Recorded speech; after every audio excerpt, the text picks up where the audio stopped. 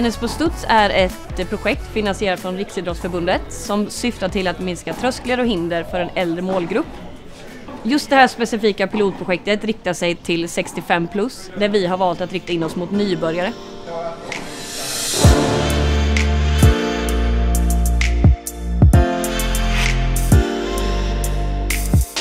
Tennis och studs är en ny jättetrevlig satsning där vi vill förenkla sporten tennis. Eh, vi använder oss av lite kortare racketar. Vi har en boll, en skumboll, minitennis som är 75% långsammare än en vanlig tennisboll. Eh, banans storlek är en minitennisbana alternativt en badmintonplan. Man kan även tejpa banan.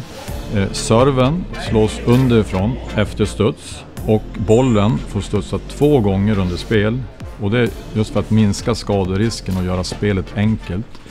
Man spelar dubbel, man får inte spela volley och det är också för att sänka tempot i spelet och att alla ska kunna vara med. Även om man har kanske en begränsad rörlighet. Det mest speciella med att spela tennis på studs det är känslan att kunna slå tillbaka bollen över nätet. Och att lära sig att ta bollen på två studs och att avvakta så du hinner med.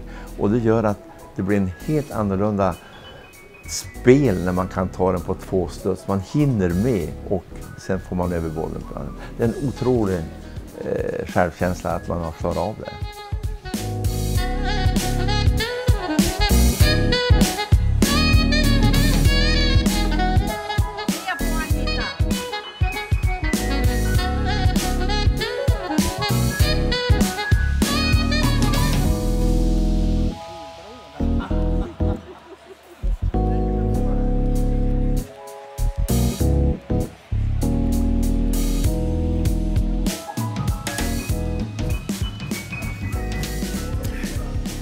Det är gott det här. Bra spelat. 4-0. Serven över. Till Lasse. Servar.